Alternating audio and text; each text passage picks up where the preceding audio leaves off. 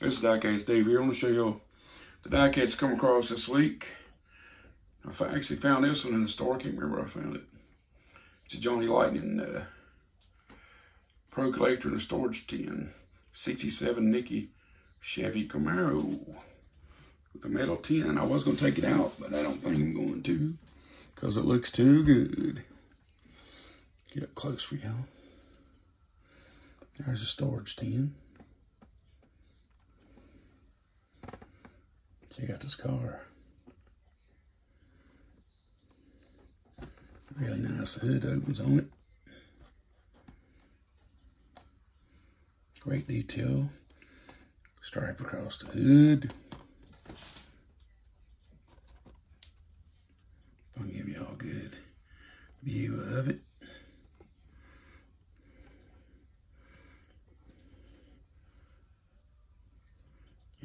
wheels almost look like Cragars.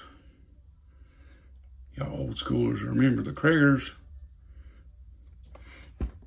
Now next, I'm gonna show you something I traded my Ultra Red 2020 Chevy Silverado for to my son Johnny.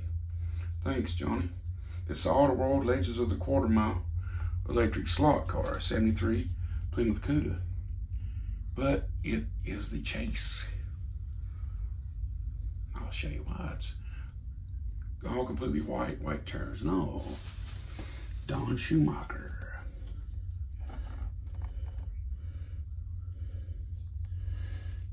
And he knows I like vintage race cars and stuff better than modern vehicles. And he traded even with me.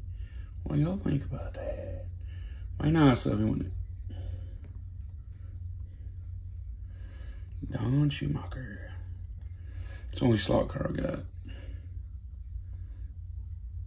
I've seen some cool ones, they're a bit pricey.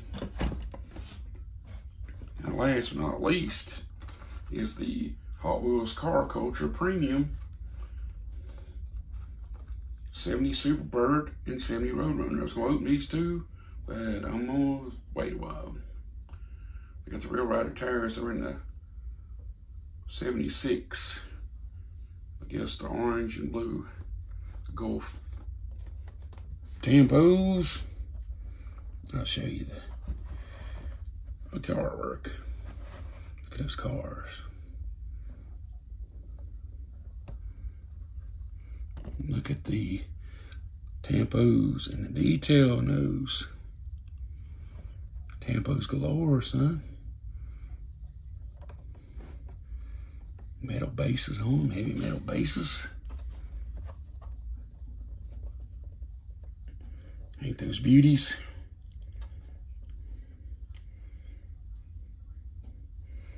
Man, those look nice. Wish there'd been two at about one to open.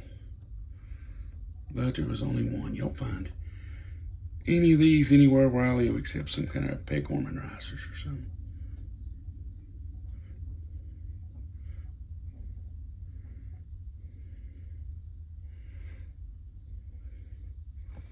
Well, y'all don't forget to like, comment, and subscribe if you want.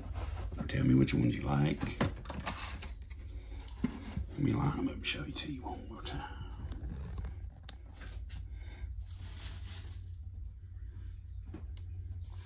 Sorry for the glare.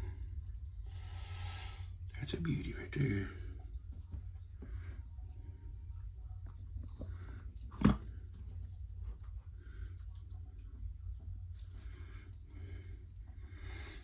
Thanks for watching. Go and check out my buddy Toy Car Case on YouTube. You'll like his videos.